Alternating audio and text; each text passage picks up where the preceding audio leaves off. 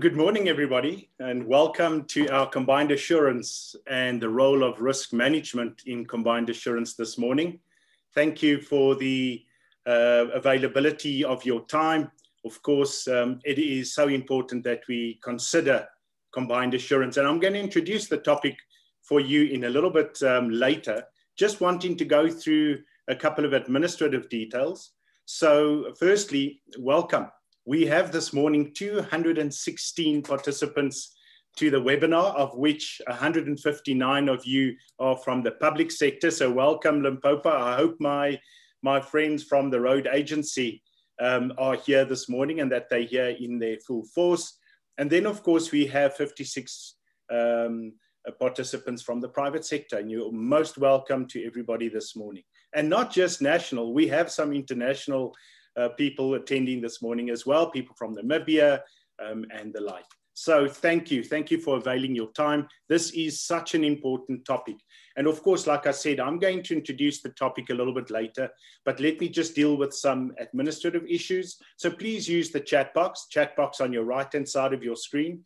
You see some people in the room and you want to just touch um, up with them and you know link up with them and have some conversations. Use your chat box. Say hi to everybody. And you could use the chat box for q&a as well. However there is a very specific function for q&a and it works so nicely. So if you have questions please post them uh, on the q&a part but you are welcome to use the chat box as well.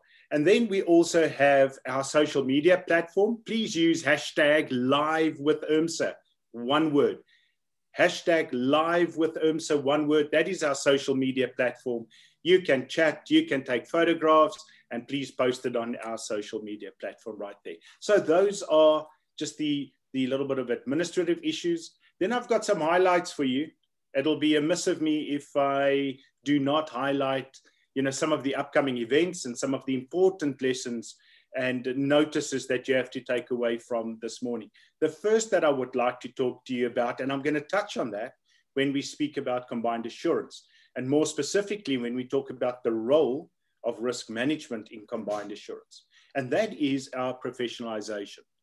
Our exams are coming up, and for those that have not realized it yet, there is an exemption that you can apply for. So get going look at the requirements, look at your qualifying criteria.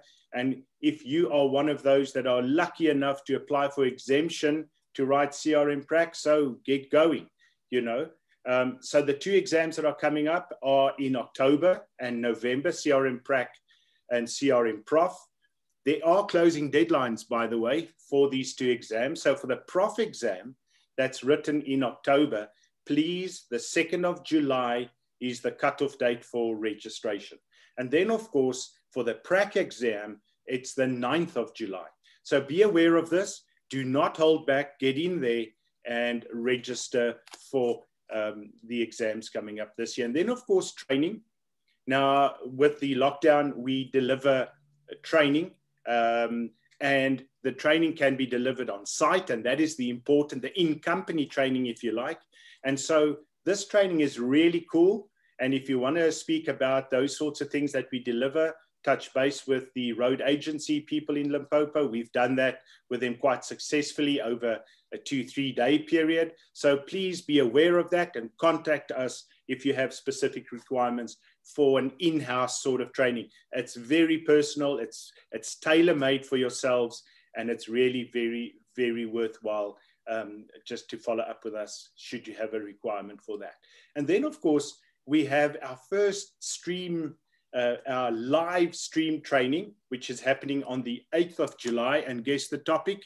Yes, of course, risk appetite and risk tolerance. One of the most difficult things to get right in risk management. So be on the lookout for this. 8th of July, it is going to be a live streamed uh, training session that, that you can uh, attend. And then do not forget about our e-learning platform. It is so flexible. You can govern your own time, your own pace around this. And I think it's important because you have the freedom uh, to fill in your own schedule and to also understand what training I want to do when. You can choose the sequence of your training. And I think that's very powerful, especially because everybody's needs are different and you may need something else within your specific environment to happen first. And of course, then you can do that because you have control over that schedule. Lastly, before I get to the meat of this morning's webinar, let me just talk about our upcoming events. So because of COVID, all our events will be digital until further notice. So we have a very special event. I'm not sure that all of you are aware. POPIA uh, comes into, um, into ACT, into compliance mode, if you like. Um, and we have a POPIA webinar scheduled for the 8th of June.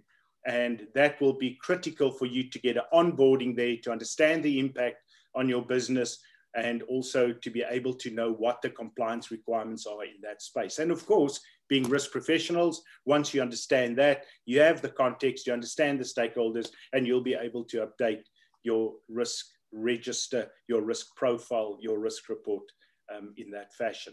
Then, of course, the CRO forum guess the topic of the CRO forum, we're talking about risk appetite. Risk appetite has come to the fore. Boards are now pushing specifically on the back of having missed the COVID um, as a risk and asking the question whether it was a black swan or was it a white elephant doesn't really matter. They are now realizing that not having a risk appetite is what allows misses and mistakes. And for that reason, uh, we have a CRO roundtable coming up on the 30th of June, focusing on the discussions at a board level, not how to set up risk appetite and the like, but the discussions, how to have these discussions, how to report on risk appetite at a board level. And then, of course, do not forget that our IRMSA conference is coming up, the first two days, the 29th and the 30th of September, and then the masterclass. Um, I hope to see you all in the masterclass on the 1st of October. Okay, and then please, we've opened our call for proposals for our conference. If you have an interesting topic, you have an interesting experience, and you would like to come and share that with us, our call for proposals for the conference are open, and please submit your proposals as soon as you can. Okay, so without further ado, and if you have any questions, by the way, you are more than welcome to post them in the chat box. We've got a whole team from IRMSA just ready to answer your questions around any of these topics that I've just highlighted with you, whether that be the board exams, whether that be our events or our training. Let Rip put it in the chat box and we'll have a conversation with you. Right, so I want to welcome you all again. And I want to welcome this morning Boitumelo Mabocha. You may not know, but she is the chairperson of the regional IRMSA Limpopo Committee. And for that, um, I will introduce and hand over to a little bit later. But let me first just say thank you, um, for your time. Thank you for, for taking the lead on this. Thank you to the Limpopo um, uh, committee, subcommittee of IRMSA that's, that's recognized the importance of combined assurance. And why are we saying it is so important?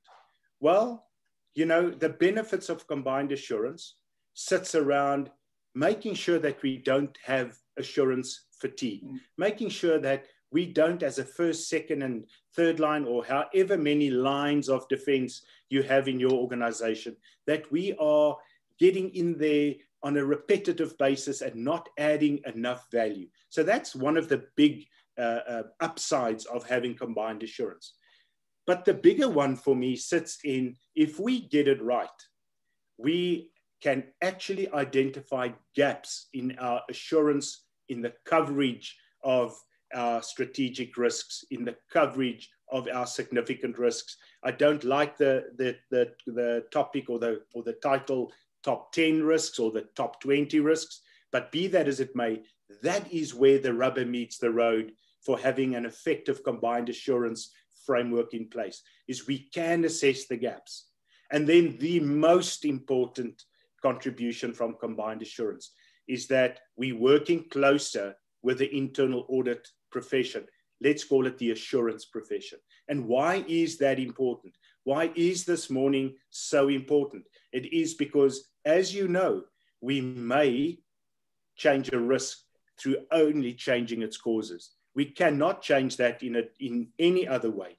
And so, for that reason, we have to have the right controls associated with really well defined causes. And if we then apply to that performance management, we change the risk profile of our organizations. And for that reason, working closer with all the assurance providers is critical uh, so that we make combined assurance address all these elements that I've highlighted, but also contribute to more effective risk management. And having um, said that, I'm going to leave you um, in the mo most capable hands of Boitumelo Mabocha. Boitumelo, good morning, welcome, and thank you so much for joining us.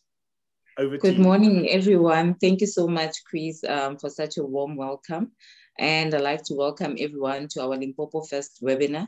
Um, the last webinar, the last um, actually breakfast that we had the physical one was when um, IRMSA launched the risk report last year in March before um, the pandemic. But anyway, we just have to get used to the um, new normal. Um, we welcome you, everyone. We welcome you to Limpopo, the heart of Africa. And my name is Boitumelo Mabocha, as, been, as it has been indicated. Um, we're discussing a very important um, topic today, ladies and gentlemen, the role of ERM um, in the combined assurance model. And um, with this said, um, I just want to say that we just have to take note of the most important key role players, um, of which it's you, definitely the risk practitioners, and um, governance, the, those charged with governance are board members, are audit committee members, executive management, assurance providers. You know, if we all can just um, get rid of the working in silos mentality and just collaborate, because that's what combined assurance is all about. It's all about collaboration, collaboration. So um, as the Limpopo Regional Committee, I'd like to thank um, them for putting together um, this um, wonderful webinar for selecting this um, topic um, that is um, combined assurance and the role that ERM plays.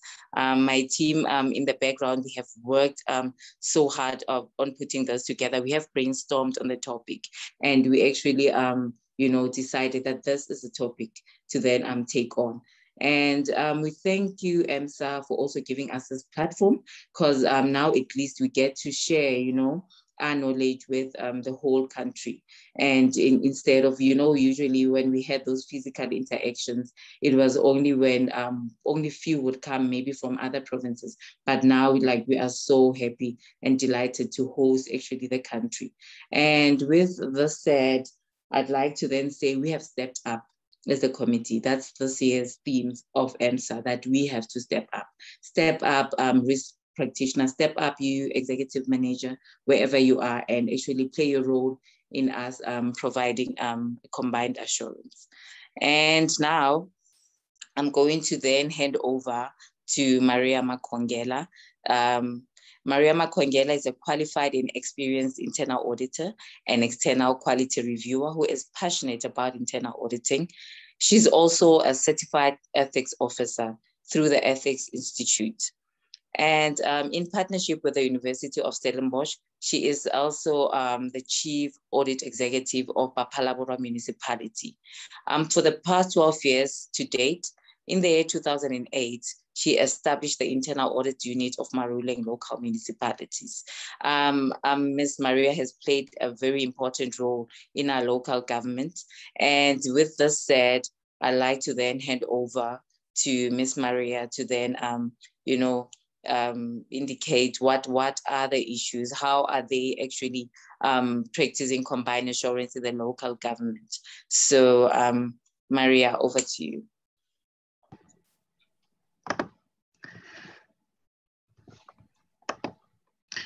Good morning, uh, Boitumelo. Thank you so, so much uh, to the rest of the executive committee uh, of IRMSA in Limpopo. It's a, a, wonderful pleasure for me, a pleasure for me to uh, be joining uh, this uh, session this morning and uh, to be sharing the, our experiences in terms of combined assurance. I think um, let me just appreciate the opportunity given and also um, appreciate uh, also the topic. I think your your theme for this year is uh, is just to the point, um, and I think it, it is relevant in terms of uh, the the state, the environment that we are in uh, as a country. Uh, that uh, indeed we need to step up. I think gone are those days where we could just remain at, a, at an ordinary level. One needs to step up uh, uh, uh, in every area, every discipline where they are, whether it's audit, whether it's risk management, whether it's governance. I, I believe that uh, I think your, your topic or your theme for the year is just uh, to the point. Uh, this morning, I'm, I'm, I'm going to make a presentation on implementation of combined assurance.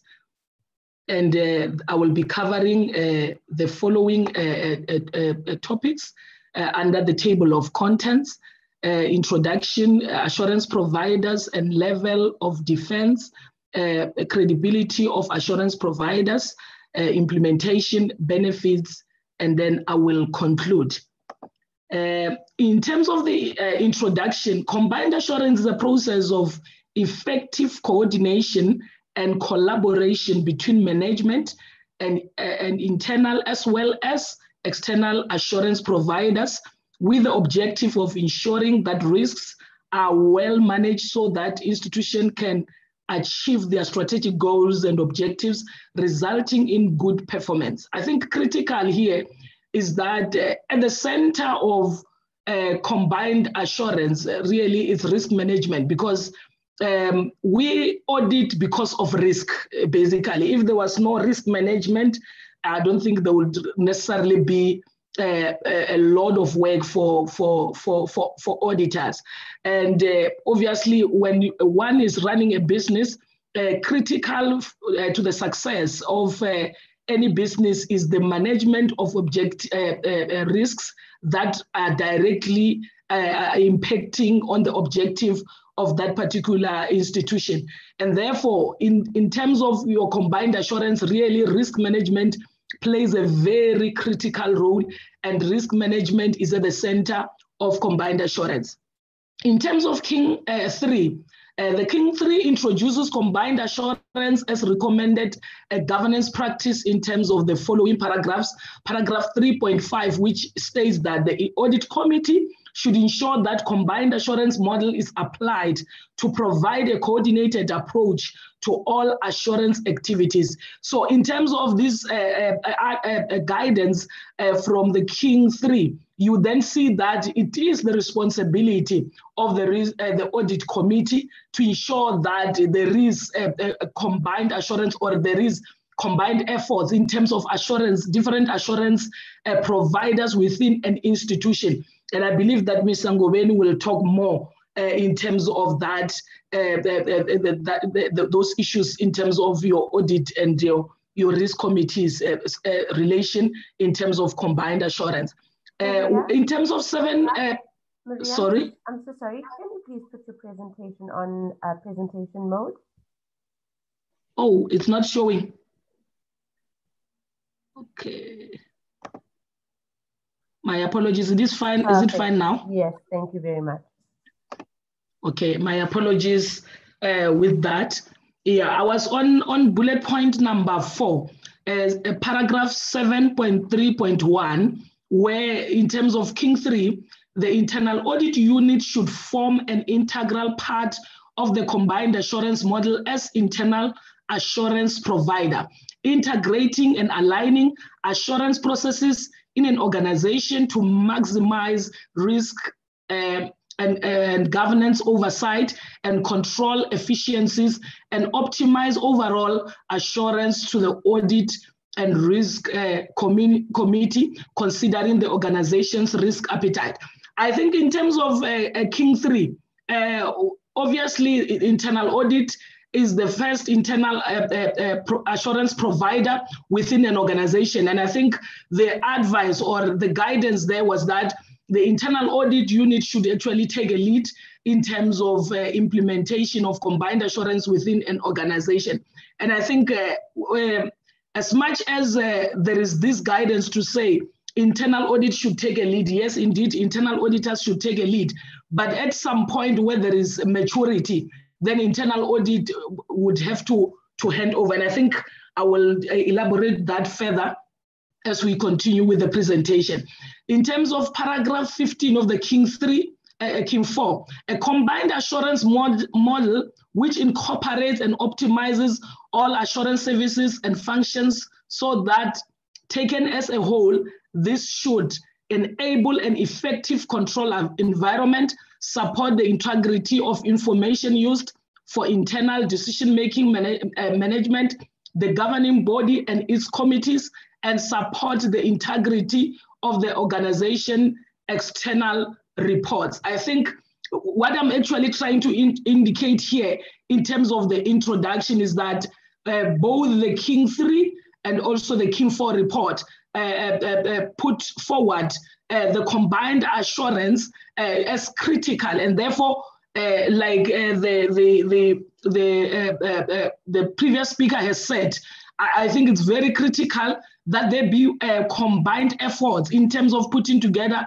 all assurance providers within the institution so that we can reduce assurance fatigue then there are different levels of defense. I know in terms of this, uh, the levels of defense, uh, some will say there are three levels of defense, some will say there are five levels of defense, but I, I, I believe in the four levels of defense. And I understand that uh, different uh, uh people or different organization will have their different views in terms of uh, the levels of defense.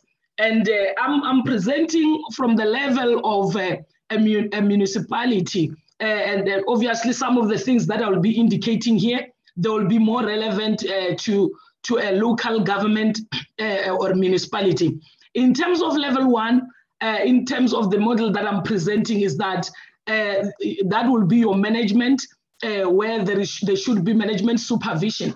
And when you zoom down into local government, most of the time you will have individuals coming from the uh, provincial treasuries coming from COGTA, uh, uh, uh, which is the, your, your, your, local government department uh, at the provincial level, uh, who are constantly assisting different management. For example, you'll have a person working hand in hand with the CFO, assisting the CFO, or maybe working uh, hand in hand with the supply chain manager, uh, assisting them in terms of uh, putting together their, their processes and, and also advising them. And I said, from that level, and this I know uh, we've got, there are people who've got different views in terms of the, the treasuries, but I say these guys, for me, they are they are at that level because they are assisting, they are working together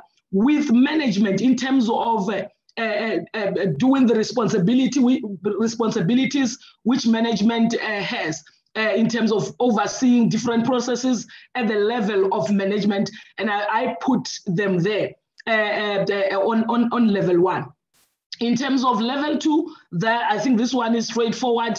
You will find here your your uh, performance management uh, guys. You will find there your legal services, uh, risk management, uh, uh, internal control units uh, at that level. And and and this level really is is level two simply because the rest of these guys are reporting to the accounting officer, not to any um, external person outside uh, the, the institution. Even if you have your risk management committee, you will realize that your risk management committee chairperson reports to the accounting officer still.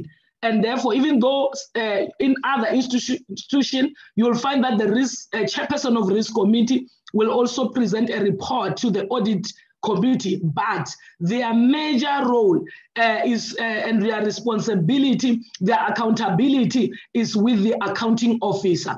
And therefore, also in this uh, level on level two, there are uh, uh, uh, in, people from your national treasury, provincial treasuries, and also uh, who are assisting your PMS unit at the level of PMS, who are assisting your risk management unit at the level of risk management. And that is where I say these very individuals, uh, for me, I will still also put some of them, those that are responsible for this unit, I will then put them under uh, level two of the uh, uh assurance uh, provider simply because of the role that they are playing. And of course, this one is, is I think it's a it's a question or it's something for for for for for more uh, discussion. Uh, uh, if you look into the how the, the support, uh, because I think uh, from Treasury and Cox, COGTA, they will say they are providing support into the municipality. How they are providing the support and of course, it's not even the same people uh, coming, uh, um, uh, doing, assisting your CFO. You'll find that it's not the same people that are actually assisting your risk, uh, your internal control, or even your PMS uh, level. And then in terms of level, level three, that is uh, the internal audit, where the internal audit unit sits. And I say, the, here, the, the, the internal audit reports uh, uh, administratively to the audit committee, which is not part of the um, um, day-to-day running of the municipality or of a, a department. And I also say, in terms of South Africa, you then have uh, your treasury and, and the national treasury who are assisting internal audit. There were instances, if maybe I could give example, where uh, treasury will come and do an audit and assisted us at some point, do an audit of supply chain, for example. And you can see that you can't say that person is is seated uh, anywhere else because they are really independent. But if you get a person that was assisting supply chain manager to put on processes uh, in supply chain manager, and then that, that person comes back and want to to review the process, then you will see that there will be issues of uh, uh, uh a conflict at that level. And I think this is something uh, the, the, the support provided by these uh, stakeholders, uh, Treasury, your COGTA, to a local municipality or to any municipality, you'll see that this is something unique for South Africa, which obviously one way or the other, I think more uh, more uh, studies, more articles might be needed to, to be written in terms of just really looking into, into that and uh, analyzing the responsibilities that they are providing at this level. And uh, lastly, at level four, I then say uh, you have the Auditor General. Um, going forward, I think what is very, very critical uh, in terms of the assurance providers is the credibility of assurance providers, their credibility. It is very important to assess the credibility uh, of the assurance providers, and that's what will make uh, your combined assurance to be to be uh, uh strong. The assurance provi provided must be credible. This is achieved by ensuring that the skill and experience levels of assurance providers are appropriate for the work to be performed and that the, the extent of work performed will address potential and actual exposures. This is very critical. That is, I, that is why I have highlighted it. Management and audit committee will need to ensure that assurance providers, both external and internal, have the appropriate experience and skills and follow an acceptable approach or methodology. I've, I've indicated management and audit committee. Why? Audit committee will will be in the right position to say, are our assurance providers really uh, qualified? Do they have the right skills? Do they have the right experiences? And management will have to ensure, because these are the employees of management or an institution, then management will have to implement from uh, the recommendations by the audit committee. And I, uh, I've quoted in terms of the international standards on auditing, uh, 620, which is the using uh, the work of an auditor's expert should be read also in conjunction with ISA 200, which is overall objective of the independent auditor and, con, uh, and, and the, con, the conduct of an, an, audit in accordance with international standards on auditing. This standard will give us guidance in terms of how do you get your assurance providers uh, to be credible will give us a guidance in terms of that. And these are the, the requirements when you look into these two standards. The, the first one, uh, the standard will outline that uh, the independence or the objectivity. Independent reporting lines and no recent direct involvement or work done in the areas or, or, aspects to be audited. I think this I'm borrowing from the that standard, uh, the auditing standard, to say it is important to uh, analyze the independence or uh, the reporting lines of each each assurance provider, and of course. You will, you will see that is why you obviously this will guide you where each assurance, provi- uh, assurance provider will sit where they are reporting will show you whether they should be on three or four uh, or on one or two. But at the end of the day, uh, you need to look into the independence. You must be able to clearly identify uh, or uh, confirm the independence at what level, at what specific level are these uh, uh, uh, assurance providers independent. And obviously, you'll see from level one, it will be weaker. Going up to it gets stronger and, and stronger. Then the second thing is the conflict of interest. Uh, you need to be uh, able to assess that to say, is this uh, assurance provider conflicted or not? You should be able to look out uh, uh, uh, for any areas where there might be a conflict of interest and continuously ensure that your assurance providers do declare Uh, uh, the, the, their interest uh, uh as you continuously what implement your assurance, your combined assurance in your institution. And then critical, then you also look into the skills and experience why would you want to look into the skills and experience? You, you'd want to look into that because before anyone can rely on the work of another assurance provider, uh, you need to be sure that this person uh, is qualified, and is experienced, and you can actually rely on their report. Uh, uh and that is why uh, the previous speaker said we the major thing is for us to ensure that there is no uh, assurance fatigue.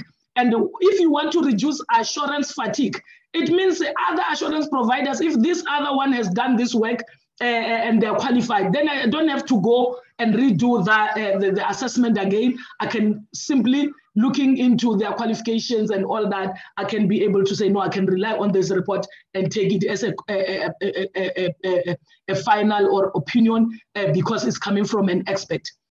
And then qualifications, uh, the assurance provider should hold appropriate qualifications.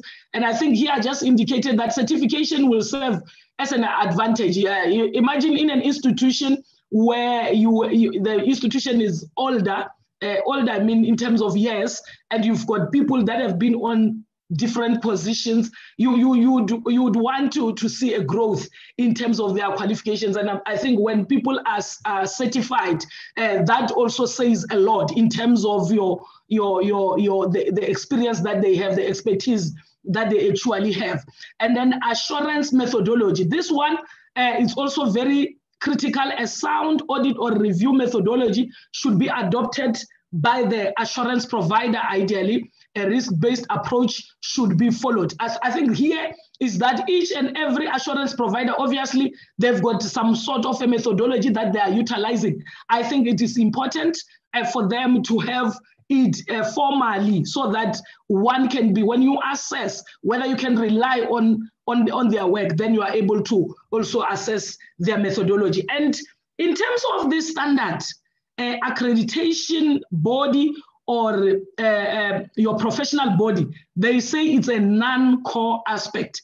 And I've indicated there and B, considering South Africa's ethical environment and the risk attached uh, to, Uh, uh, to, to um, uh, related to ethics, you, you might not want as an institution to say a registration or registra registration with professional body is a non-core because you don't want to have assurance providers that cannot be held accountable.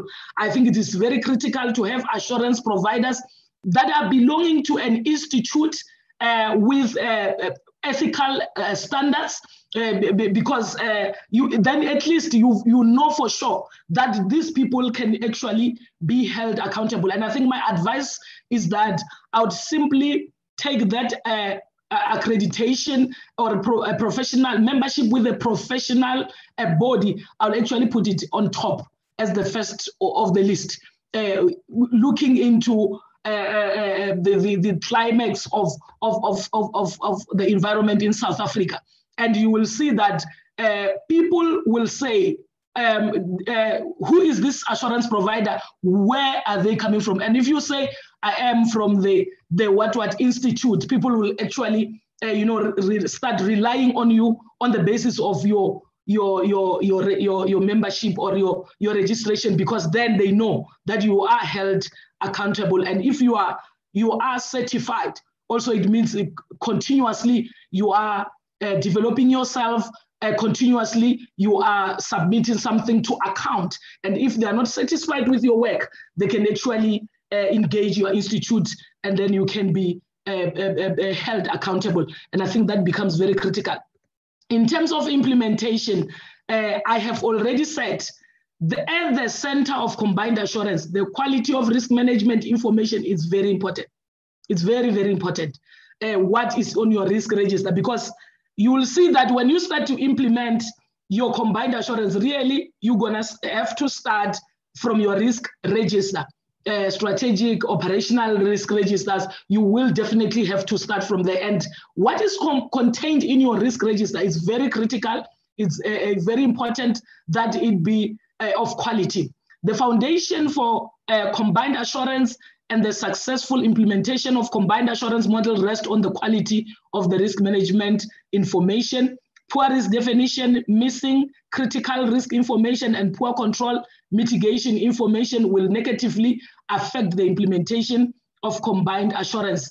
The first step in the process is completing the assurance map by indicating who assures what risk and to where this assurance is reported. I think what one of the uh, advice I can give is that the, your internal audit unit should be before they can develop an annual plan should be able to assess the process of identifying your risk uh, uh, your risks and also putting together your risk uh, registers and also test certain things uh, in terms of your, your risk register before they can even uh, utilize uh, the risk register uh, to to uh, to put together your audit plan, and that process should assist uh, in, uh, improving the quality of your risk register. And then this is I've just indicated here what an assurance map will look like. If you look into this one, this table, what I'm indicating there is that your first column it will be your risks number or your risk description, whatever. Sorry, Maria. this is the risk. Sorry. Sorry, Maria. Just four more minutes until the end of your presentation. Okay. Sorry about that. Okay, should I wait? Oh, I'm, I'm remaining with four minutes. Yes, ma'am. Oh, okay. Thanks. Thank you so much. My, my apology, I think I'm taking long. Okay, fine. I think from this one, the assurance map, I'm just gonna pass. Uh, you would see that the, the first column, it will be your risk number. The second column, it will, you will indicate who is currently giving assurance. If there is no one, Then the second column, which is the proposed, then you'll be able to say, we propose that this one will be giving assurance uh, on this particular risk. Then you are able to see how your risk uh, assurance is going to be. And then in terms of uh, the risk, uh, the combined assurance committee, I would advise that you develop, you establish an assurance, uh, a combined assurance committee where you'd have your risk, uh, uh, all the assurance providers uh, from your, your, your level, level two, and also going up, up, up to the auditor general. And I think in government, most of the time, the challenges will be to actually get your auditor general to serve into your, uh, your combined assurance committee. So I think it's very critical that you establish that uh, risk committee, uh, uh, uh combined assurance uh, committee. And from there, after you have uh, put together your combined assurance uh, committee, then it will be important for you to develop a combined assurance uh, framework I'm not going to speak much because of, of time, but there the, are the information, what needs to go into your uh, combined assurance uh, framework. What is critical is that this framework need to be approved by either your board if you are in under your, your company's act uh, uh, uh, uh or, or your, your council if you are maybe a municipality or so. I think critical there is the approval of the combined assurance. And then also very, very critical, it will be your terms of reference and also your combined assurance plan and also your strategy. The terms of reference, it will assist you in terms of also securing all your assurance provider, especially your auditor general, because they are not within the, your municipality or within your institution. If you can have a terms of reference where they buy into that, then you agree, you put together uh, the dates that are aligned with your institutions, with all the institutions, so that you are actually able to sit and be able to uh, deal with all uh, issues relevant for your institution. And then from there, uh, I've already indicated that the, the last the, the other step it will be to deal to now look into your current risk register and also uh, indicate who is uh, uh, um, uh, uh, giving assurance where and then whether there is too much assurance given on a particular risk or not.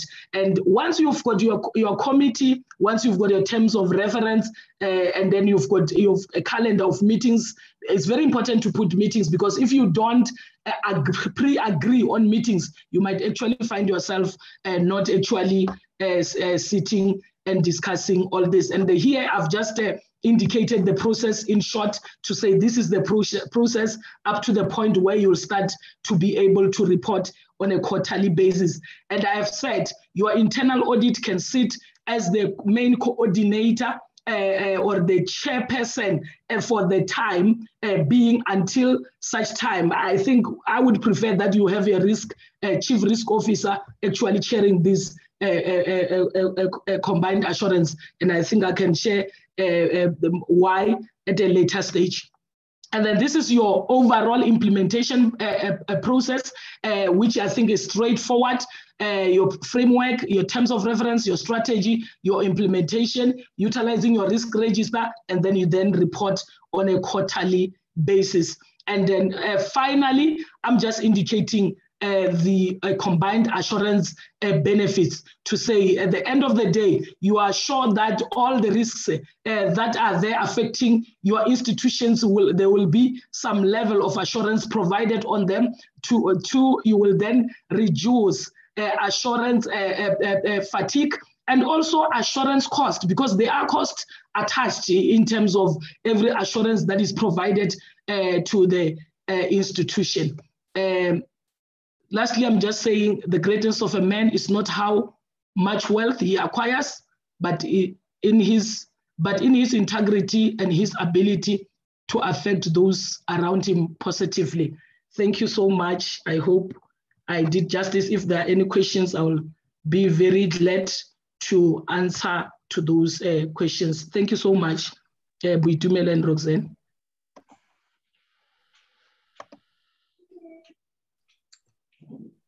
Okay, thank you so much, Maria, um, for the presentation. Thank you. Thank you so much, Maria, for the presentation. Um, so um, I'm just going to give the take homes of, of Maria's presentation. um, before we then go to the Q, the Q, the question and answers. Um, the take home is that we must just ensure that we look at where combined assurance started from King 3. That's when um, it was then identified, and then King 4, and then elaborated further on how to then implement um, combined assurance. And then the importance of the assurance providers, the credibility um, that they, they, they have, and then the conflict of interest. We must ensure that they always declare their interests. And then another thing is the importance of the quality of information that risk management um, must present. And um, second of last, combined assurance committee must then be formed to then ensure that we have a combined assurance model running. And then the terms of reference definitely, and the strategy that you can then also present to your other assurance providers. They must be in place. Um, I have noted a few questions from the chat box. And um, unfortunately, due to time, we will not be able to then um, respond to all of them. But I'll just indicate there's one um, that um, um, I saw, I, I, I feel that it's, it's, very important that it will also benefit all of us. It indicates that um, what is there a process in the combined assurance model for qualitative and quantitative um, um, um, um, in the in the in the combined assurance model. I'm not sure if you got it, um, um, Maria. Is there a process whereby you evaluate qualitative and quantitative analysis in the combined assurance model? And then the second one is that can you have a manager in the performance management system also being a manager um, in risk management? Can you combine that position? And um, the third question is that regarding slide five, the role of the governing body in the combined assurance? Um, these are the three questions um, that, that I've noted. And then Maria, if you can um, respond to the questions, please. Yeah, thank you so much, uh, Boitumelo, and uh, my apologies really. I think I took, I did not really uh, uh, get notice of time. I'm struggling to get myself up there. Uh, there's something on on my video, but I hope you can hear me. Are you able to hear me, Boitumelo? Yes, you're audible, ma'am.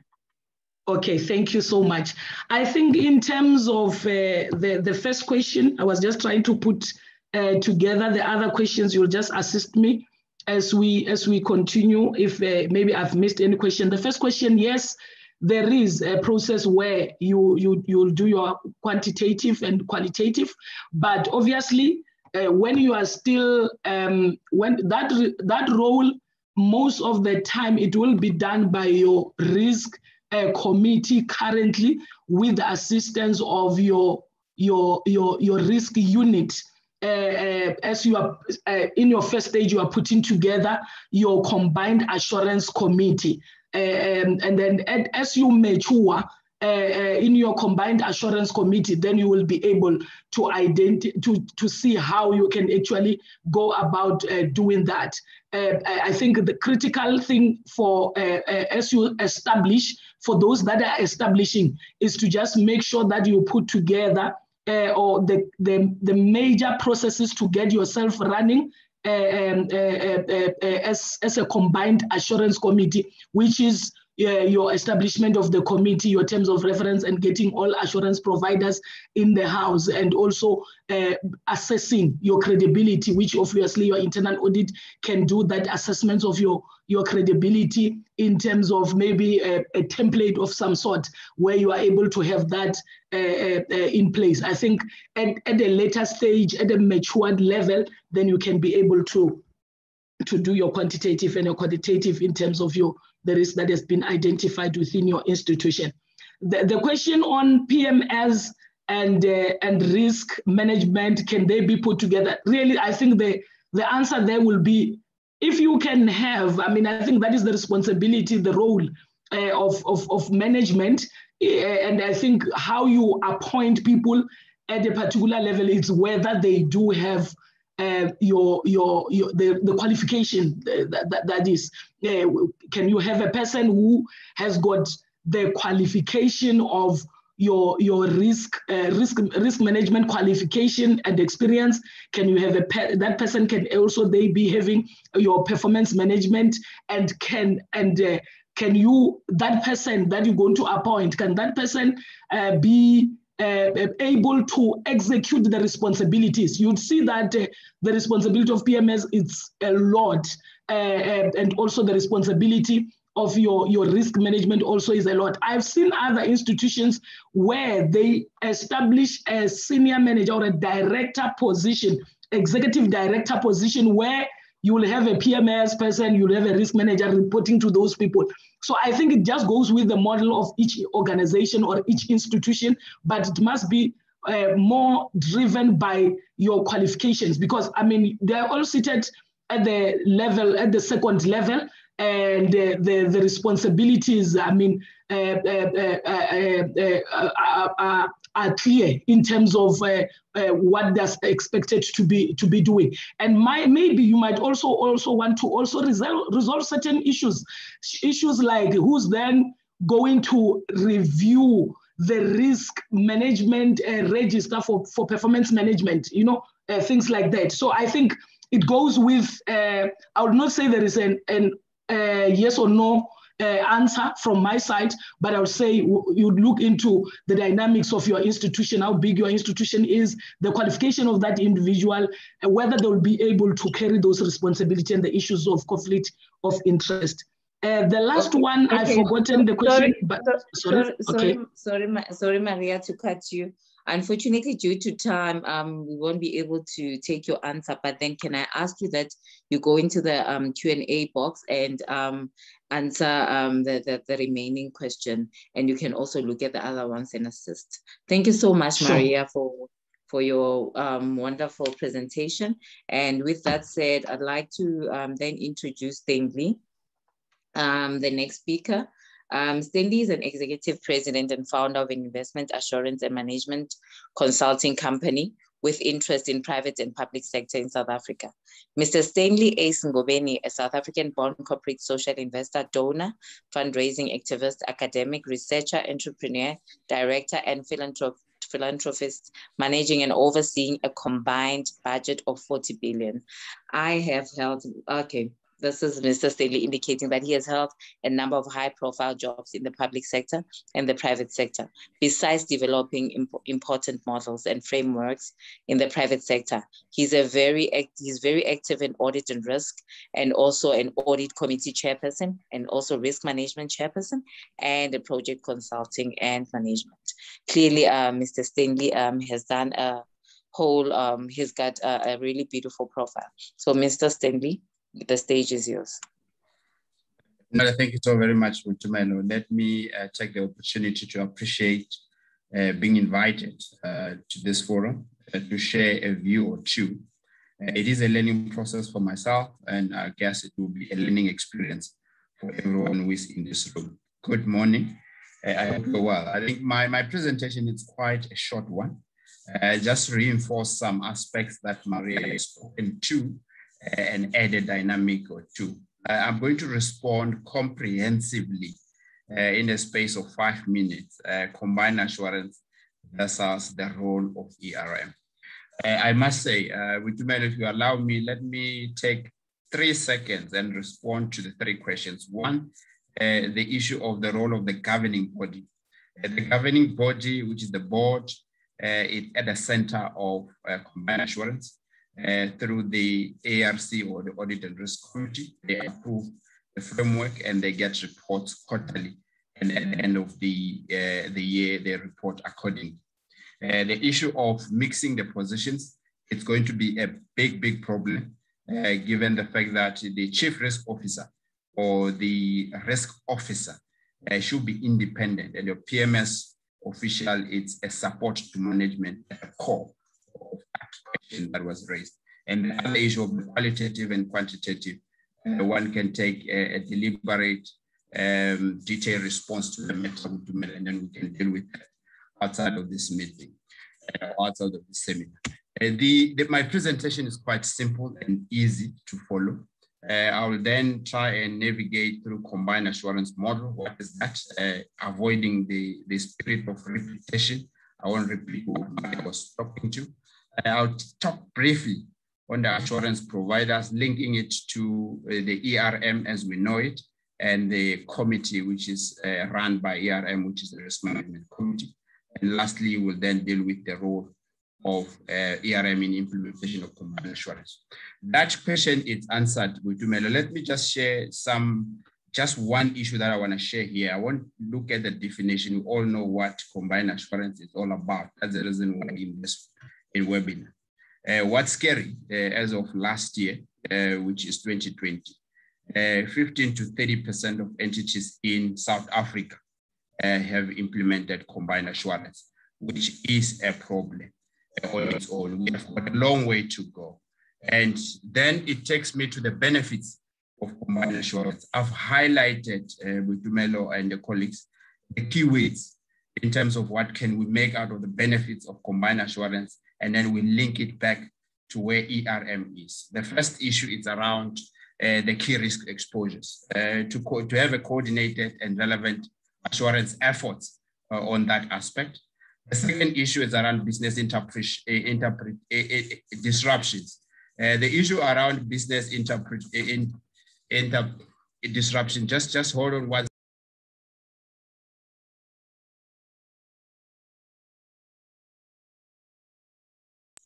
apologies for that. Uh, the issue around business uh, business uh, reputation, uh, business disruption is around business continuity plans, which is at the core of the mitigation uh, insofar as uh, business continuity is concerned. So one of the business, one of the mitigation strategies is BCP as we know it. The third element is around the improved reporting uh, to committees and the board, and it deals with that question that I was responding to. It then assists how we effectively report back uh, to, uh, to the board and to the shareholders, as it were. The issue of assurance costs, I won't deliberate more on that. We, we definitely uh, at the core of uh, implementing combined assurance will save on costs and then we deal with what? Financial risk uh, and the going concern issues. We all know that uh, the entities, companies are battling uh, to settle their, their fees uh, and, their, and their accounts. So that will also assist in as a mitigation measure for financial risk as it, as it were. The other areas, it's, it's all about, uh, you know, the last areas uh, that I want to talk to, it's around integrated reporting. Um, uh, combined assurance is also at the center of integrated reporting as we battle uh, as a country to implement integrated uh, reporting. Uh, we, we definitely need to look closely in the role of um, risk ERM in combined assurance. Last but not least, on the benefits, colleagues, it's all about uh, improvement in opportunities identification. We all know we've been talking risk identification. It's not about time that all in, in Sandri uh, start to identify uh, opportunities that are linked to the risks that have been identified.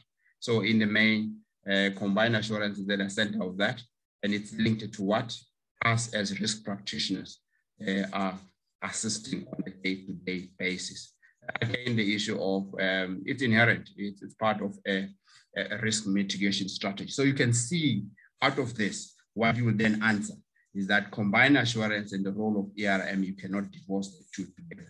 If you were to put an equation, you would definitely uh, find that in that in that mathematical equation, uh, as it were. So that's the first part insofar as the relationship between the two. We cannot uh, talk combined assurance if we don't talk ERM from where I am sitting. And I'm advocating that to all in this room. then, then the next slide, if I were able to, to move the slide, this was just dealing with the, the role of the audit committee. We all know the subcommittee of the board or the subcommittee of council is the audit committee. Amongst the mandate or the fiduciary responsibility of um, the audit committee is risk management and also combined assurance. So the two uh, has to feature in what we do uh, because we are ultimate supporter uh, of the audit, audit committee. It might be via the risk management uh, committee uh, to the audit committee and the board. So that you'll see that we feature very, very heavily and our uh, contribution cannot be underplayed as it were. Then uh, I think Maria has spoken a lot around uh, what qualifies one to be an assurance provider. And that's the reason with Tumelo, I, I, had to respond to the whole issue of a, a chief risk officer uh, moonlighting as a PMS manager. That won't assist and that won't help because immediately there are few uh, criteria that you won't tick of, of who do we call an assurance uh, provider. Independence, objectivity, the issue of interest, uh, not in a bad way, interest uh, as we know it, and skills and, uh, and experience. Uh, that will also play an issue there. And last, which is very important, one to be an assurance provider in a combined assurance model must have a what? An assurance methodology. We all know uh, ERM has a methodology. Will the PMS uh, manager have a, a, methodology? The answer will definitely be a no. So that uh, must be a takeaway for me. One need to qualify, uh, uh, justify, justifiable so as an insurance provider. Then I will navigate. Um, the slides will be shared. Um, Tumelo and the team and Roxana will share the slide. These are uh, some of the assurance providers. We all know them from internal all the way to the external uh, side. And, and it then incorporate both public sector and private sector. That's what has done here. What has been good of late, which comes out of COVID, uh, we have seen the OHS committees uh, as they will manage COVID going forward. So those becomes also key uh, in, in what we do. And we all know the COVID related risks that you identify and part of combined assurance uh, it. If I were to move the legislative mandate, we've spoken to that and I won't repeat and you've reflected on it quite correctly uh, with Dumel. These are some of the guidelines uh, that we can take home to, to, to, to assist us as we unpack this whole issue of combined and our role as the in this big scheme of things. I can then move to uh, the combined assurance uh, model, uh, the levels uh, or the levels of defense. Uh, Maria has spoken to that, but what's key for me, uh, first level executive committee, which is made up of management, and you've got risk management committee, and you've got ARC at the bottom, which then feeds into the, the board or the accounting authority and all the way to the shareholders as we know them. Then uh, these are some of the activities one can undertake uh, to get uh, combined assurance going. Uh, these are nice steps to have, but if you look at step three, it talks about the risk analysis. Very, very important. Very, very important, and it's where we are playing. That's our space. So you can see out of the steps that one can articulate in implementing combined assurance, we feature uh, as part of our risk um, fiduciary responsibility as ERM, whether it's in the form of us facilitating the sessions or um, monitoring and reporting uh, going forward. We all know that um, combined assurance must end up with the audit committee. That's what you see in the steps from 7 to 12, and which will end up uh, at the board level being discussed uh, level. Then the, the, the, other issues, what, what one proposes um, in terms of addressing the 70 uh, shortfall of uh, implementation of management is very important for one uh, to look at the phased-in approach. Uh, the, the whole issue of trying to implement combined assurance in totality uh, might create some change management issues. The phased-in approach where we can show uh, the, the benefits and the successes of what we're trying to get to, and we are able to customize uh, to all the entities and the companies that we are dealing with.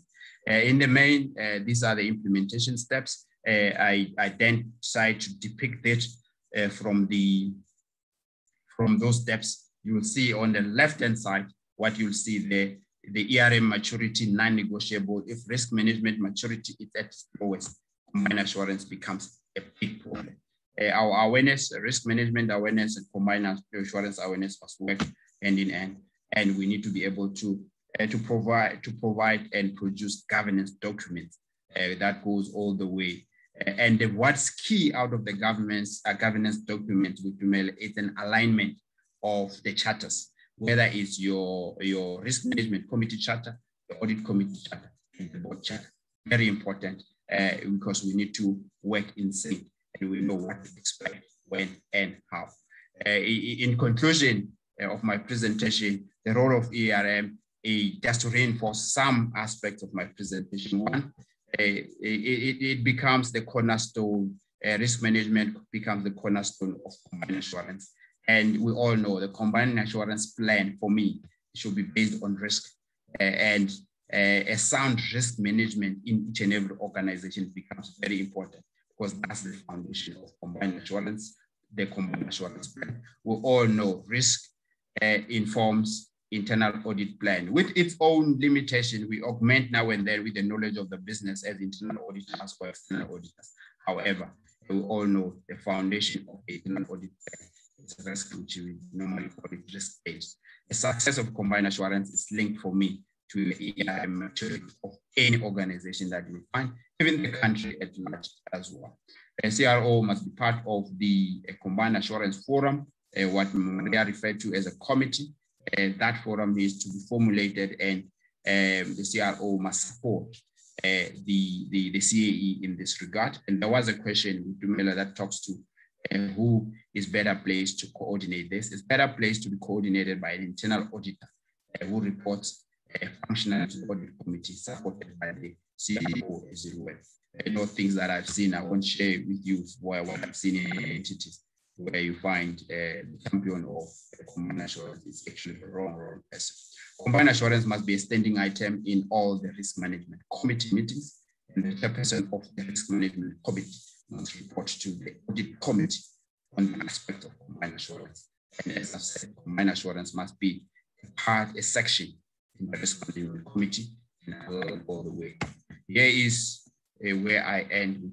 Thank you so very much. I hope I was able to do justice to the time allocated. And then back it here and allow some discussion or questions and we can then address this important Thank you. Thank you, Stanley, for your presentation. Thank you, Stanley, for your presentation. As I've indicated um, before that, um, I will then be giving you the take home. What is it that you should take um, from uh, Mr. Ngobeni's um, presentation? Um, firstly, um, he actually highlighted the benefits of having a combined assurance model and the importance of coordinated efforts. That is the collaboration that I've indicated earlier on that they, the, it is very much important that we collaborate and stop the silos um, working mentality and the fact that it also minimizes um, business interruptions. The other take home is that who is an assurance um, provider? Um, that that is one um, highlight that it also be it has been highlighted by both speakers, like who are the role players. Um, the levels of defense, we have five, we have four, um, uh, uh, in, in this instance, you know, I, I believe that we can just expand. As, as, as Mem Maria has, has said in her, in her presentation that it also goes along with your organization, the model that you, you would have in your organization. And then the implementation steps is very much important that you then have um, the implementation steps of your combined assurance model. And um, another thing that um, Mr. Sandy indicated is the, the, the, the, alignment of your charters, of those chartered governance. You cannot have a board charter saying that, and whereas the, your audit committee charter saying something else, but then they should um, talk you know, they should then be aligned. Um, I, I just, um, on the Q and A's, um, this is what I got. Um, but Mr. Stanley just answered one um, regarding who should chair the, the, the, the, the Combined Assurance Committee, definitely the CAE. And then what are the three combined assurance takeouts um, you're leaving risk management um, practitioners with? It is one of the questions um, Mr. Stanley. And then the second one is that at what level um, can we then have um, put, at what level can we have um, oversight stru structures? Um, it, it is, I think the question is more related at what level of defense, because you're having those five lines of defense and then oversight structures, they made an example like COGSTA. At what level can you then um, place COGSTA there? So I'll um, hand it over to you, Mr. Stanley, to then respond to the questions. Yeah, um, thank you so very much, Mitumela, for, for the questions. I think the first one on the CAE and the, uh, him leading, I've responded to that. For me, the three take out uh, takeaways will then be one, uh, as ERM officials, let's not be left behind. Um, this is a, a, tool that we can use as a, a, mitigation measure for each and every organization. Uh, the issue of making sure that we um, we are the right assurance provider and uh, we are not uh, apologetic about that. And last but not least, uh, we need to take uh, our role as a legislative role seriously whether you look at King 4 or King 3 and Companies Act, and also the MFMA, PFMA. In terms of COGSTA, I think for me, you can safely uh, put them a, a, at level three, the fact that they are wholly independent. However, uh, there are limitations to what they can do, uh, given uh, I, I am I'm privy to all the COGSTAs in the country uh, they are limited in number. Uh, they are limited in number. So capacity is an issue there. So that's where I will leave it with Mel. I hope I have not missed any other question, uh, but I will then say, uh, let me, let me thank you so very much. Okay, thanks. Um, Stanley, the last question is that who's supposed to serve in the Combined Assurance Committee? I see that we still have um, some few minutes left. Please respond to that. All right, who should serve in the Combined Assurance uh, Committee of Framework 1, the CAE as a convener, the coordinator. Uh, you then look at all your assurance uh, providers internally. Let me start with internally, you've got the chief risk officer, uh, you'll have your legal manager. Um, you, you can as well, if, if, if, if, if uh, the, the entity or uh, the organization is blessed enough, have your, your the colleague, whoever is coordinating around strategy, uh, whether it's monitoring and evaluation, can bring that uh, on board. And you can then stretch it externally. You bring in the AG, very, very important. I think as audit committee, we always hang on them when are they starting to rely on the work we do, whether it's ERM or internal audit.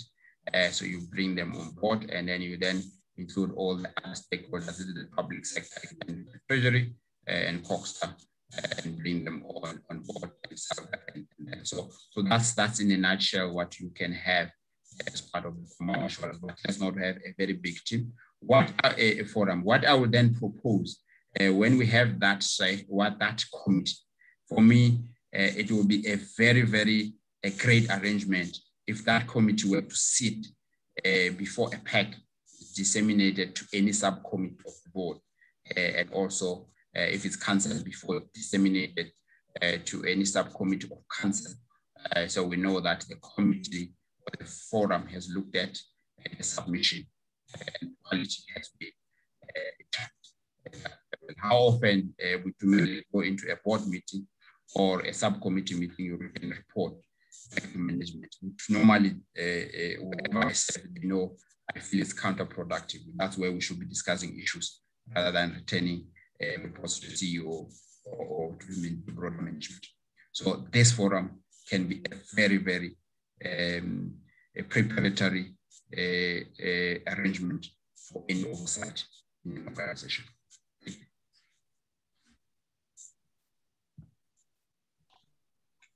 Okay, thank you so much, um, Stanley, for responding to the questions. I believe that everyone is satisfied um, with the answers that they got.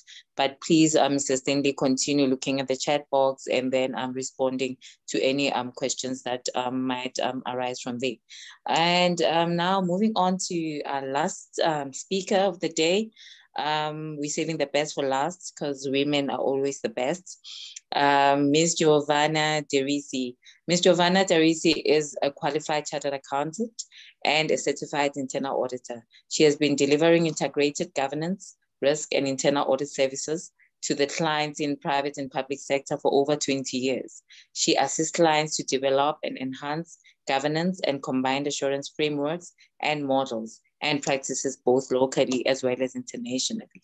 Um, what, I, what I didn't indicate is that uh, Ms. Giovanna is an executive at PwC. So um, Ms. Giovanna, the stage is yours. Please, um, you can start with your presentation. Boitumelo, thank you so much for that. Um, can you just give me a heads up that you can see my presentation? Yes, yes, yes, I can see. Perfect. Thank you so much. Good morning, everyone. Um, this morning, I'm going to just share a few practical pointers from PwC's point of view in terms of how we go about assisting our clients with the implementation of, of combined assurance, as well as then focus on, on the role of ERM within the, the combined assurance model. Um, so if we start um, looking at, at why there's a need for, for co uh, combined assurance, um, at PwC, we've analyzed the, the corporate failures that we've seen over the last couple of years, both locally here in South Africa as well as globally. And there's a few apparent failures that have occurred, um, which have seen the significant value destruction of these organizations. And the first one I want to touch on is the understanding of the nature and quantum of risk.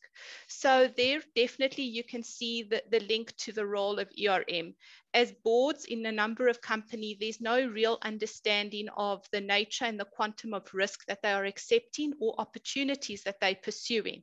Um, and that has resulted in, in value destruction. And there's obviously the first key role of, of risk officers to help the boards understand that nature and quantum of risk. The second item that has seen significant value destruction in organization is obviously the appropriate involvement in risk assurance oversight at a board level. Um, so the board's understanding obviously first the nature and quantum of risk, and then secondly, making sure that from an organizational point of view, they're obtaining the right assurance over those risks. The, the third item is the strategy and operating models that have not always been able to respond quickly enough to declining market conditions and challenges. Uh, also, value destruction is destroyed through understandings by boards and organizations of their um, relationship with key stakeholders and making sure that the stakeholder needs are then appropriately addressed through the um, organizational strategy and risk um, strategies. Obviously, we've also seen um, there's been regulatory compliance has been increasing. Um, and obviously, if the company strategies are not aligned to address those regulatory compliance, we see value destruction. And there as well, there's a role for it, risk practitioners to, to bring those risks to the fore of the board and executive. And then lastly, obviously, the, the risk assurance strategies we've seen implemented in various organizations don't necessarily apply the appropriate level of assurance, um, obviously to um, give assurance over the risks um, that they're appropriately being mitigated and that the controls have been appropriately designed and are working effectively. And most importantly, those risk strategies don't give personal protection to the executive and board members. And this has, is um, some of the reasons that we've identified over significant value destruction. And this is important because obviously implementing an effective combined assurance model would address a number of, of these failures. Uh, my colleagues have already spoken about what is combined assurance. What I would like to share with you is obviously the, the second and third bullet is our practical way of looking at, at what combined assurance is. So it's about assurance providers working more closely together. And a little bit later in my slideshow, I will show you from our um, 2020 risk in review um, research study, um, the difference between where currently assurance providers are maybe communicating together, but they are not really at that level of collaboration um, to make the combined assurance model implementation really effective. The second one is about ensuring that obviously you give assurance in, in the right areas. Um, and there it is critical from a risk a risk management practitioner to ensure that you assist the organization in identifying those risks. And interestingly enough, in our 2020 PwC risk in review study, we noted that currently um, from 120 executives and board members interviewed that only 50% of them actually believe they currently have the right data today to anticipate and manage existing and emerging risks. And this then significantly dropped to 33% that say they have the right technology and tools that assist them in order to identify the, the right risks. So here alone, um, there's a big reason for risk practitioners to step up and make sure that they assist the organization in identifying those, those risk areas. Obviously, my colleagues have talked about making sure that the assurance is received from the best people with the most relevant skills. And a bit later in the presentation, I will obviously talk about the role of ERM um, as a second line assurance provider. And then obviously in the model, you want to ensure that you deliver the assurance in the most cost effective way possible. And very important, um, the last statement at the bottom, making sure you have the right amount of assurance. And that is dependent on the risk appetite of, of the organization or the company. And the guidance on how much needs to be provided through the board and its subcommittees, um, especially the, the audit and risk committee, which is then the, the governing body tasked with implementing the, the combined assurance model. And there also, when we look at the risk appetite of the organization, that is where yourselves as risk practitioners work. And this is why it's important um, that you then obviously give assurance over the risk management processes that you implement within your organization. On the next slide, um, just want to highlight um, the different components to combined assurance, as well as what is the dependency in terms of having an effective um, control, a combined assurance model. So the first one is obviously dependent on the maturity of the different lines of assurance. Um, and obviously, we have seen in practice that not all assurance providers are necessarily at the same maturity levels.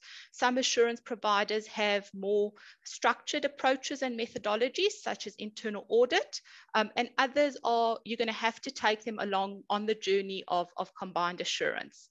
Um, the second one is obviously my colleagues have alluded to the maturity and the effectiveness of the risk management system.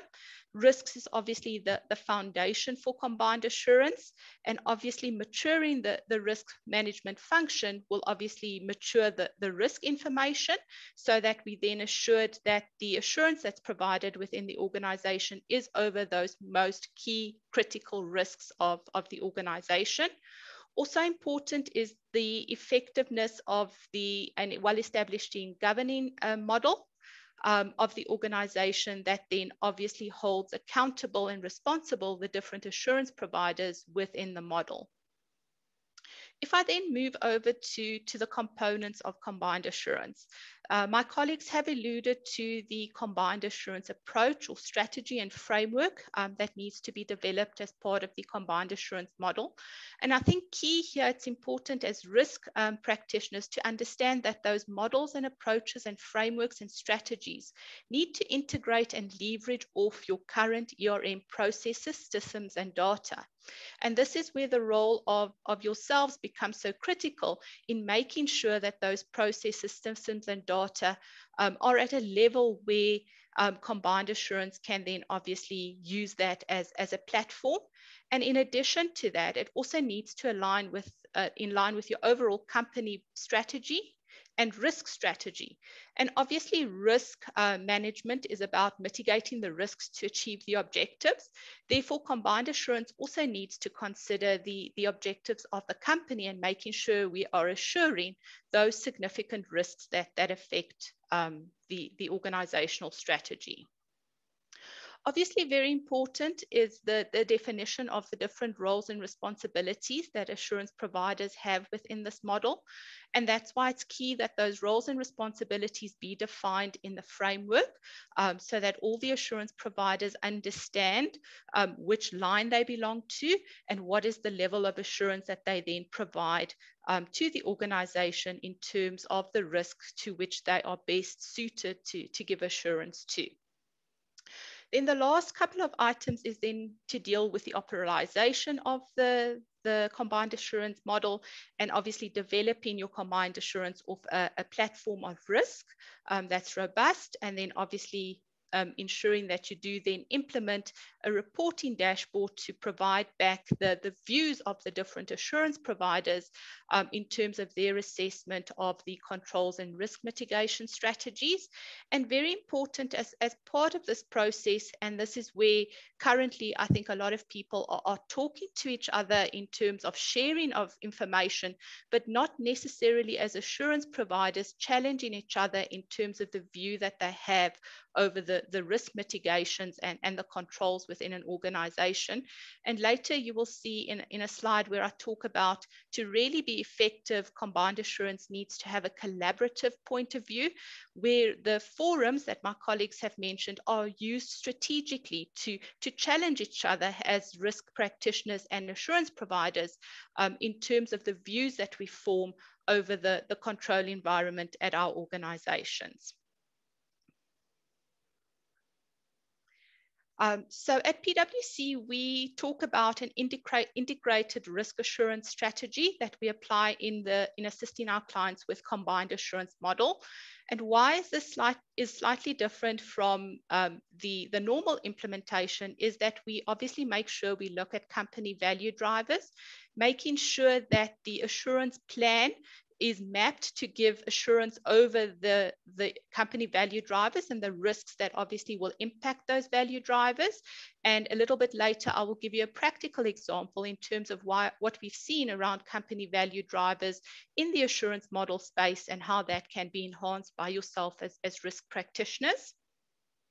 Our solution also ensures that boards and executive fiduciary duties and responsibilities are catered for in the assurance that's provided in the model um, so that it gives actually personal protection to the boards and executives um, so that when issues arise, and they will arise as much as you have a robust combined assurance model in place, things happen in businesses, um, but obviously being able then to demonstrate from a board and executive perspective um, what those processes were um, and obviously um, then obviously giving protection to, to the boards and executives.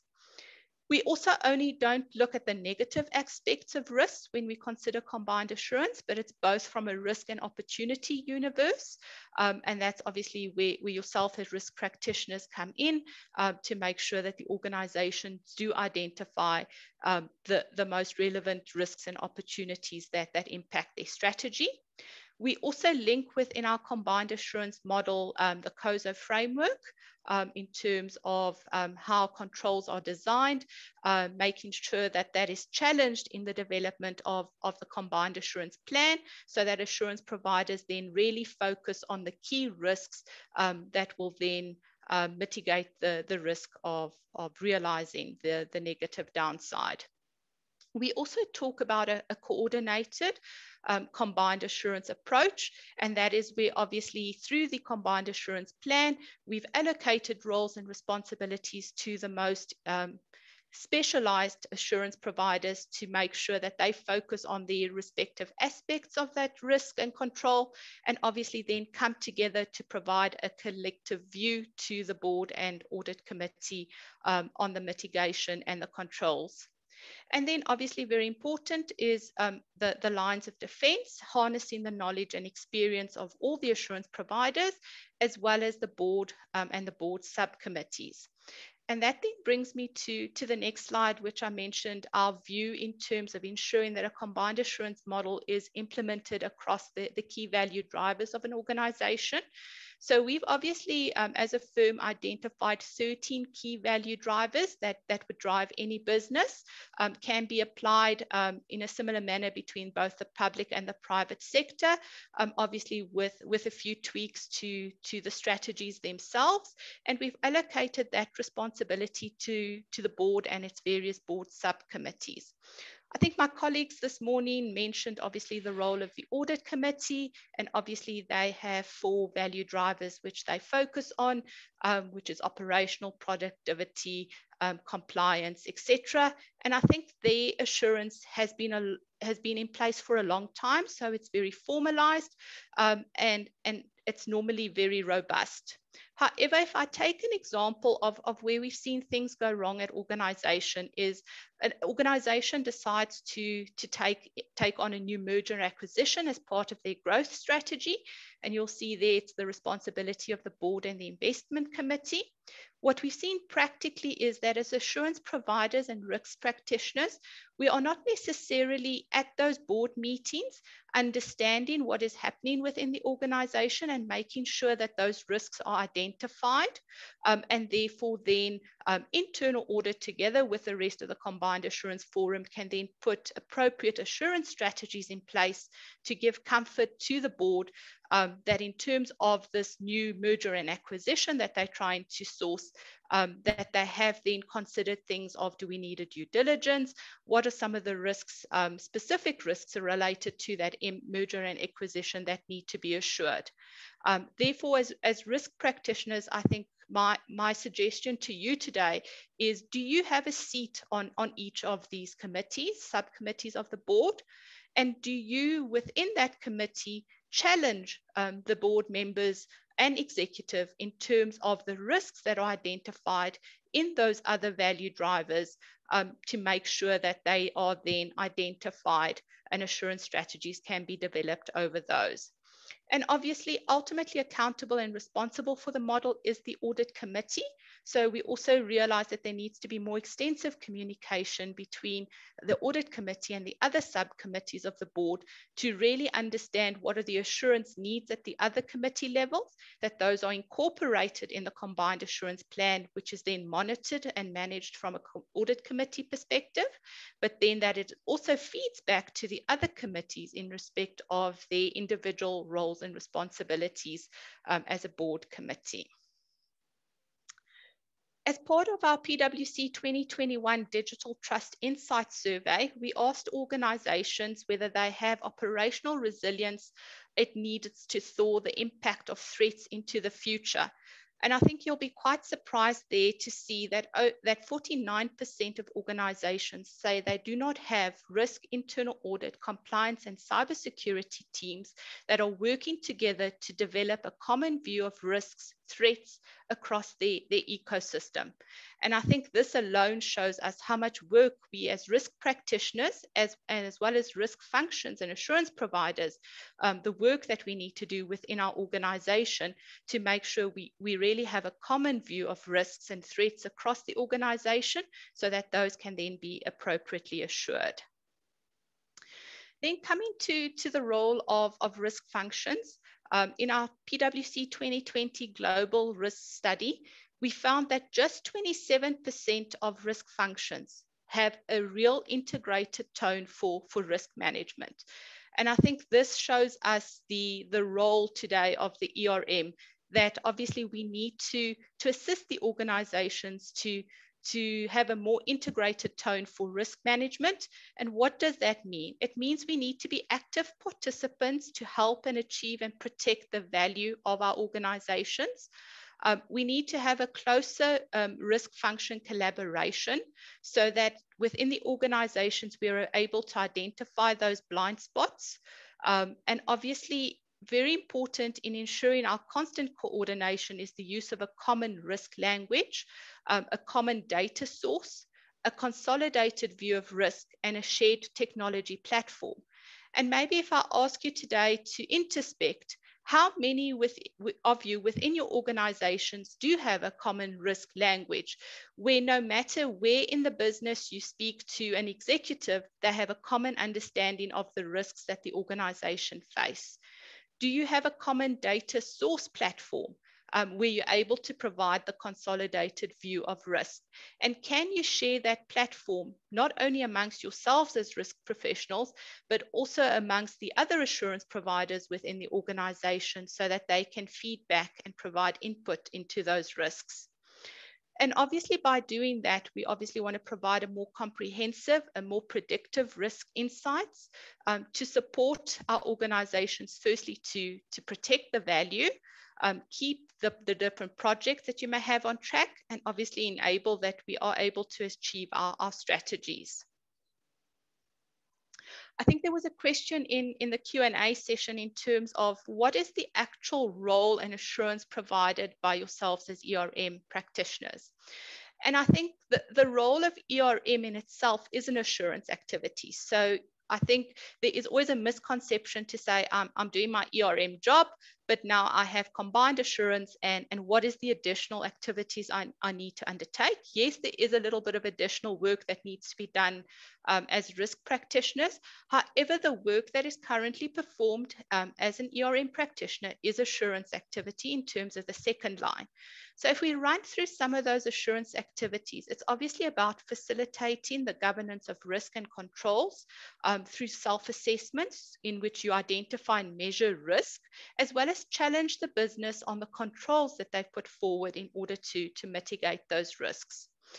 The, the second item is about yourselves monitoring those key risks and control indicators giving management an assessment quarterly on whether the, the risk mitigation strategies are being implemented and are they being effective or does management need to, to identify alternative um, risk mitigation strategies.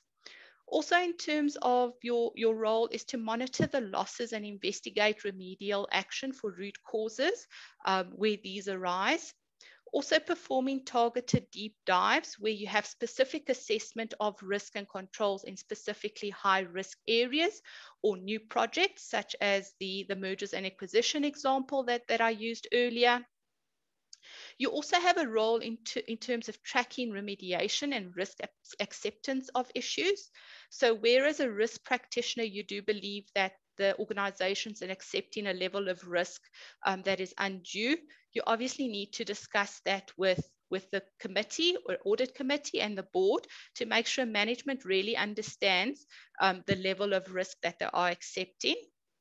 Um, as risk practitioners, you guys can also run scenario planning and stress testing um, in order to give the, the organization comfort in terms of, of the impact of the risk, um, as well as doing diagnostic reviews, as well as flash reviews, um, where you obviously focus on one or two key objectives and the effectiveness of, of the controls for the organization.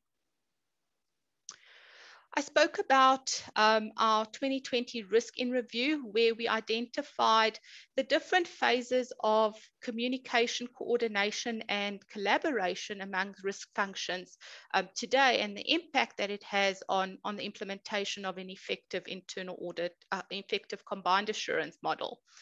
Um, and obviously, my colleague said a very low percentage of organizations in South Africa, 15 to 30%, have currently got um, combined assurance models in place. And, and the reason for that is a lot of the, the collaboration is done at such a low level um, that the real benefits of combined assurance um, are not realized. So in our risk in review, we identified four stages, which is the ad hoc stage, where risk functions work pre predominantly together when a risk event occurs.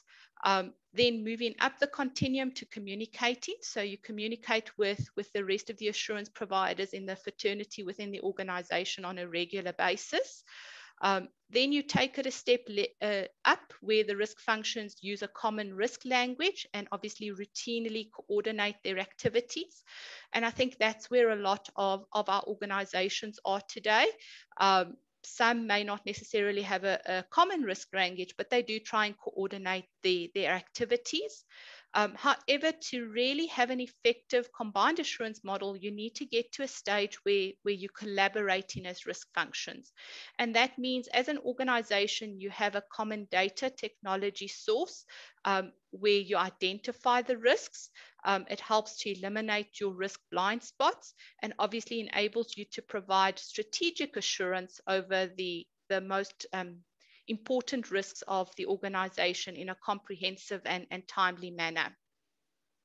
On the next slide, I just want to uh, share with you the industry view from our study in terms of where risk functions are, really collaborating.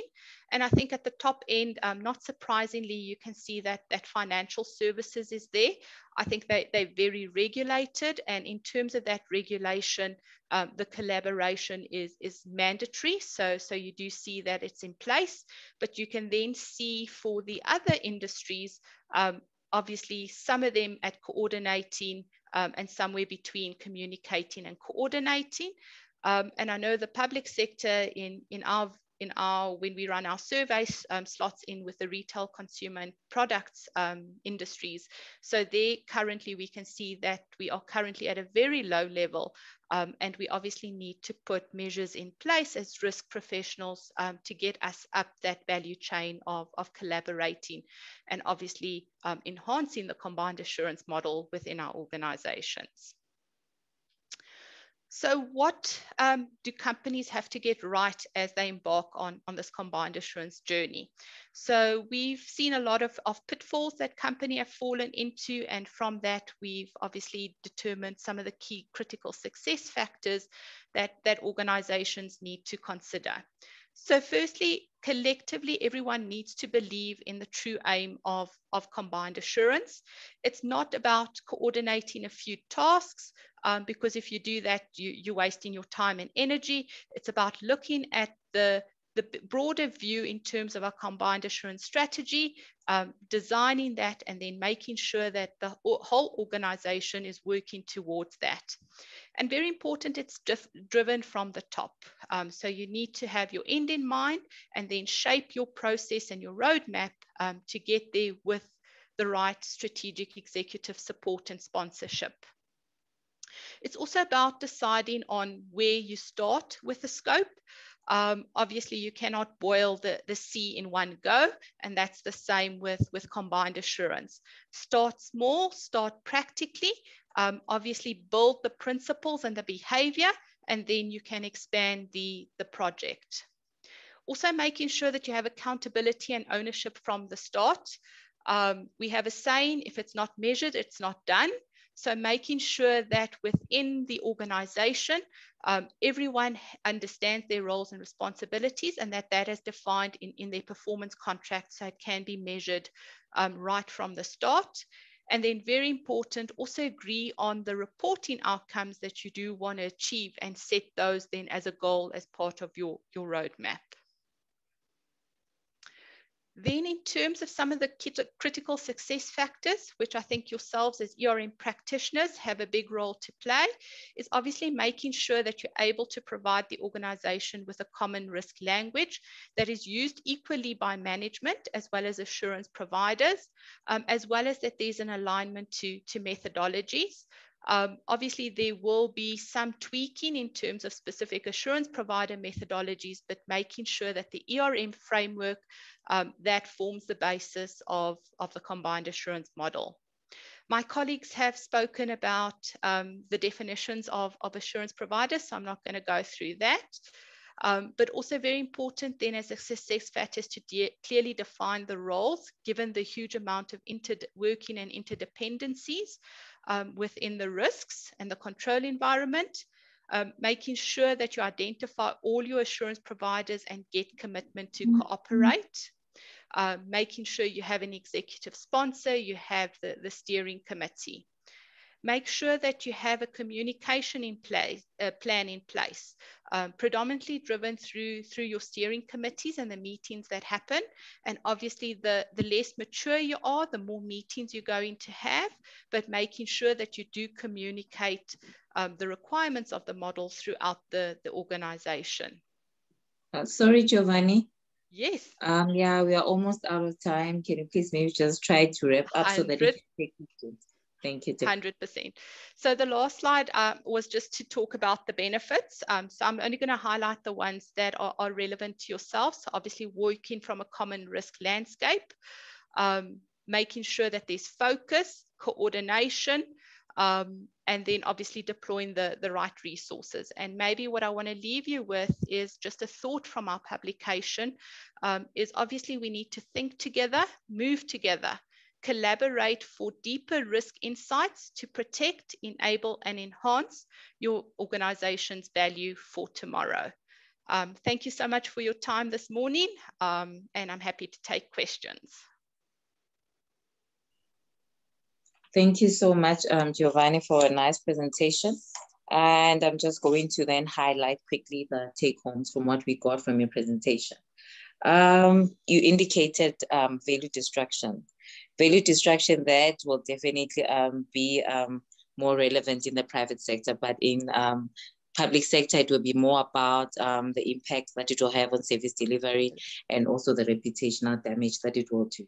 And then combined assurance model frameworks, the integration to both our strategies. We're having our strategies, our APP should be aligned to that and also our ERM framework and then you highlighted the solutions that are available in the market.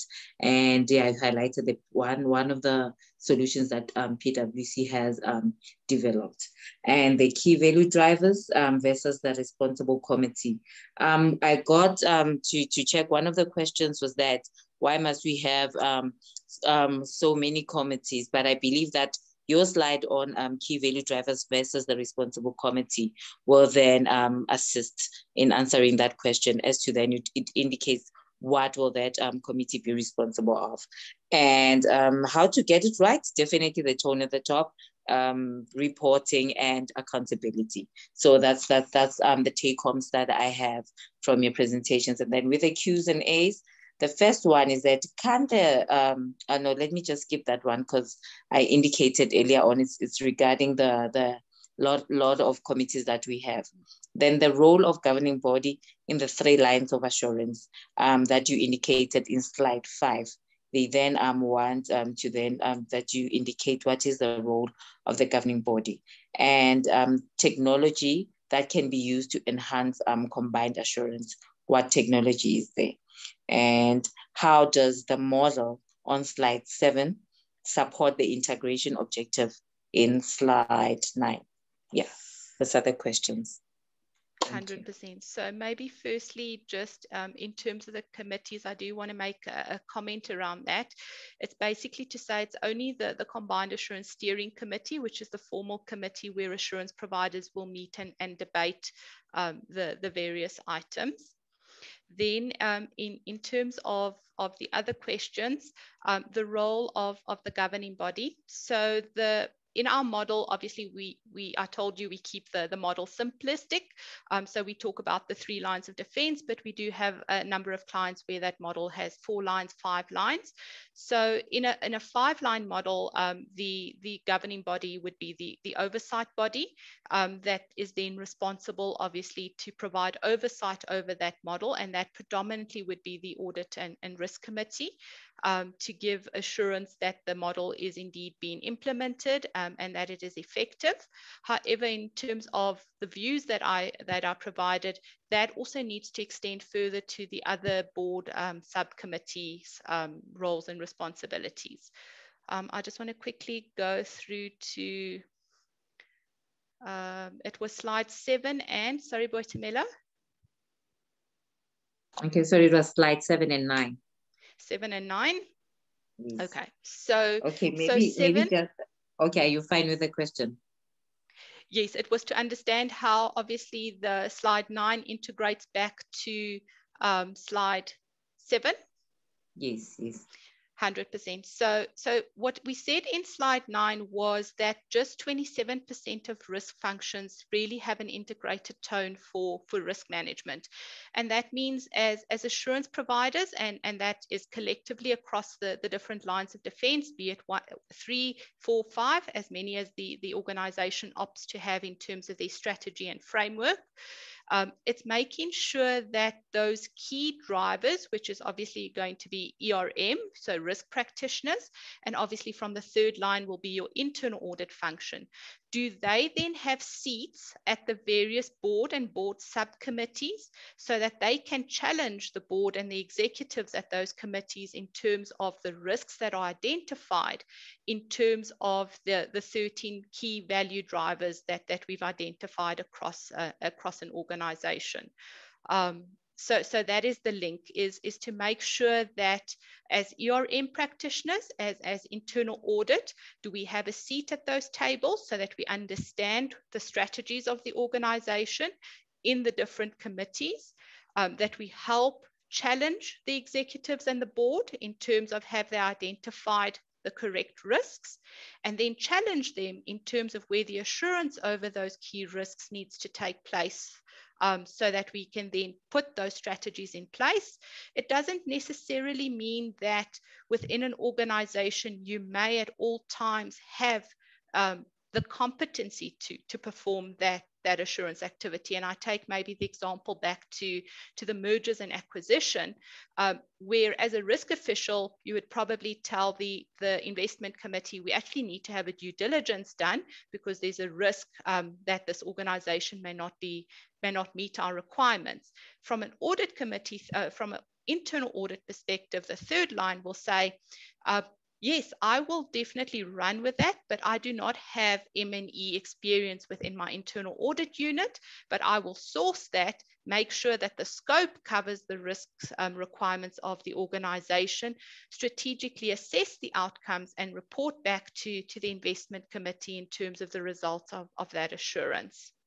Um, so that is then the, the linkage between slide um, seven and nine. Boitumelo, sorry, I've forgotten the last question, the third question.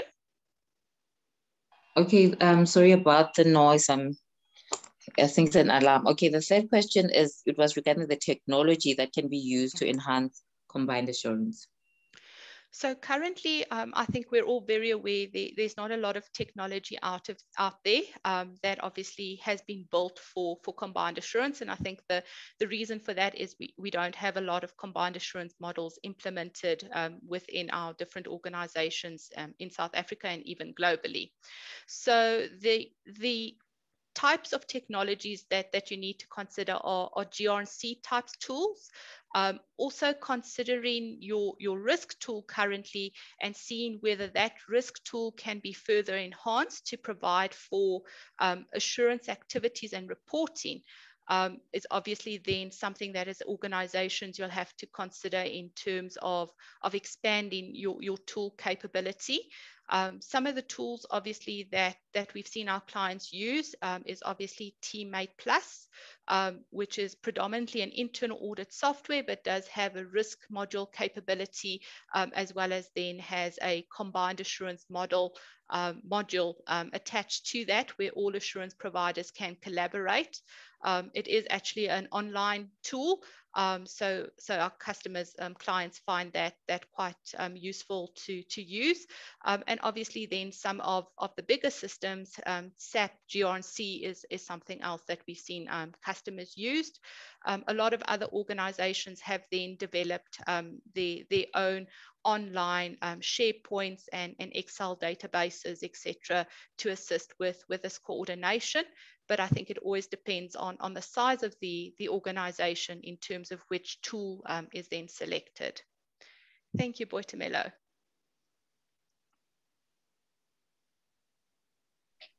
Thank you so much, um, Giovanni, for your presentation and the Q's and A's. Um, sorry about those there's um, a bit of construction happening now at our offices. I'm sorry about it. Can I just um, ask um, Roxanne to then maybe um, try to do the closing remarks? Thank you.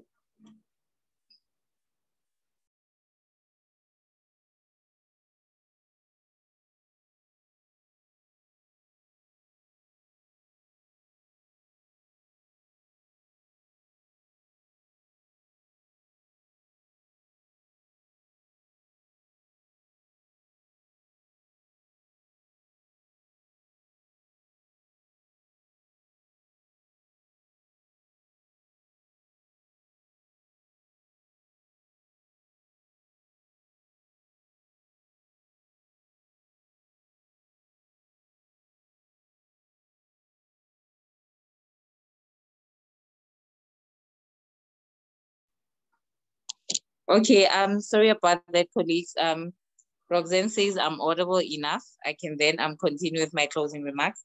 Thank you so much, um, everyone, um, for the presentations. And um, can I ask our presenters to then continue looking at the chat box and answering the questions? Um, there are some few questions that were not answered. And as a take home um, from what I got is that we must know that as risk practitioners, we are one of the assurance providers. Risk management itself, it is an assurance activity. And with that said, the presentations will then be available. And I thank you so much um, for attending this. And we hope to then hold um, more events um, in the future. Thank you so much. Bye.